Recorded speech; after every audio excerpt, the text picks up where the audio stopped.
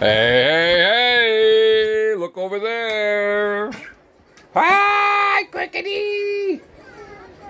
There's a Braden who's supposed to be sick and he's not. Just tell his ass to get outside, people of the world. That's a foot. That's Cody. That's a bunch of people. And this is me. Hi, people. How you doing? Yeah, hooray for me. I'm right here.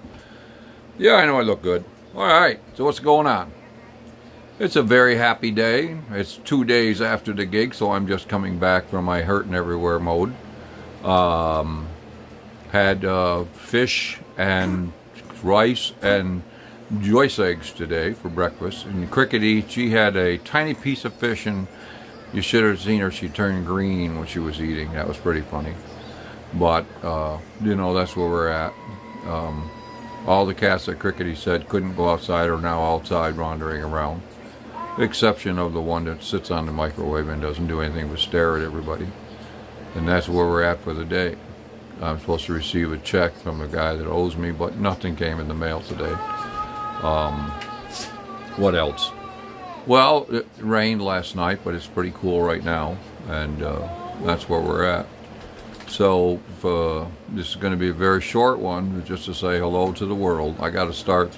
I got to leave a message today for the bass player Phil, see if he's going to play the Nick Stock concert because I'm not paying him very much to do it. It's only 30 minutes, so if he doesn't want to do it, I'll do it myself. Because that's just the way life is in this world. You just go out and you grab it by the balls and you squeeze until you freaking get what you want. And that's what I'm going to do. I'm going to do it the hell I want.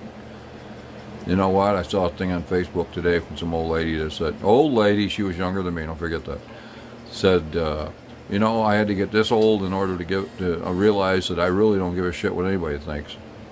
Well, I think I was like that when I was a teenager, probably about 16. but that's how I went as far as I have in the world, so, you know, um, because you have to get out there and you have to do what other people say you can't do as long as it's legal and uh, all that good stuff like you know have as many cars as you want have as many guitars as you want play what you want be a band if you want travel the world if you want take the job you want quit the job you don't like.